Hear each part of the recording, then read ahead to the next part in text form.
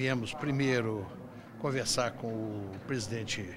Renan sobre a situação econômica dos diversos setores que estiveram aqui presentes, a indústria, é, o comércio, serviços, agricultura, cooperativa, todos nós viemos trazer os dados, as informações de como que a economia está hoje prejudicando e, e sufocando as empresas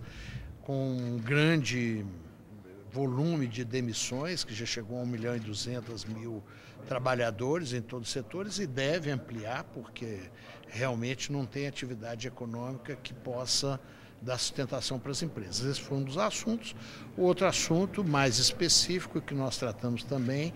foi a respeito, a respeito da proposta de terceirização que foi aprovada na Câmara e que está hoje no Senado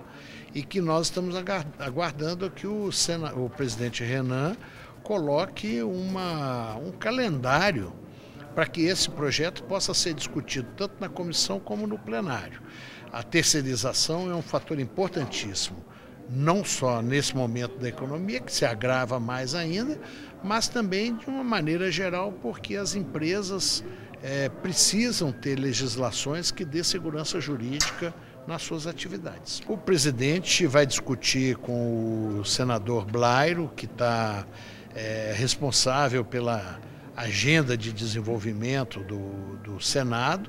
onde essa, essa proposta da terceirização está afeta e ficou de nos dar uma posição é, rápida sobre qual seria esse calendário e como que teria o andamento desse projeto no Congresso.